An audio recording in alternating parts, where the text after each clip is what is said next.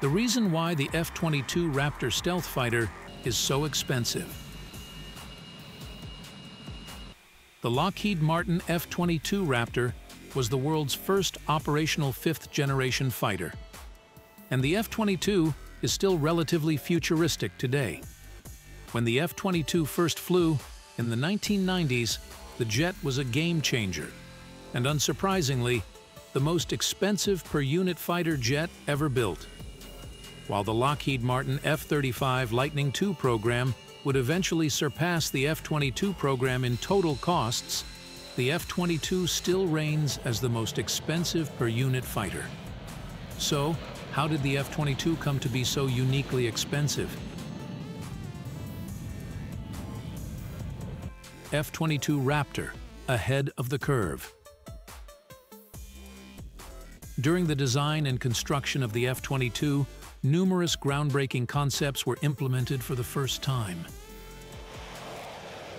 The F-22 actively pushed the boundaries of what was achievable in aircraft design, involving extensive research and development, which is inherently costly.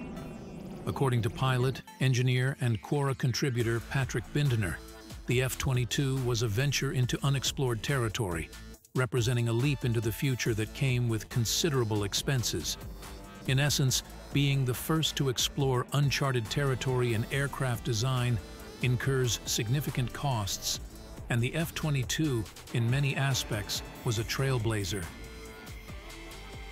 F-22 Stealth Technology While the F-22 did not mark the Air Force's initial venture into stealth aircraft, it did represent the Air Force's inaugural foray into the realm of stealth fighters.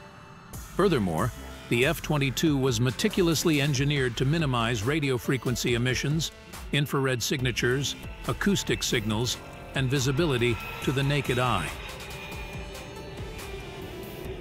The use of thrust vectoring nozzles in the F-22 even played a role in diminishing infrared emissions from the jet's exhaust plume, reducing the susceptibility to infrared homing or heat-seeking missiles. As the third stealth aircraft in the United States, Following the F-117 and the B-2, the F-22 benefited from the insights gained during the development of its predecessors, the F-117 and B-2.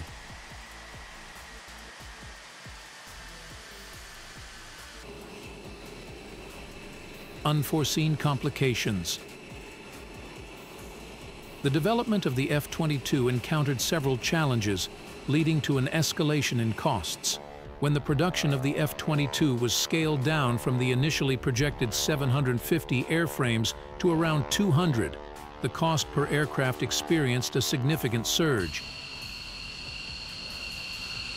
According to a report from the Government Accountability Office, the total expenditure for the F-22 program exceeded $67 billion, translating to an approximate cost of $350 million per plane.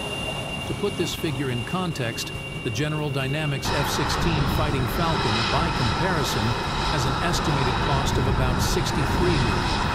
Undoubtedly, the F-22 stands out as a high-priced jet.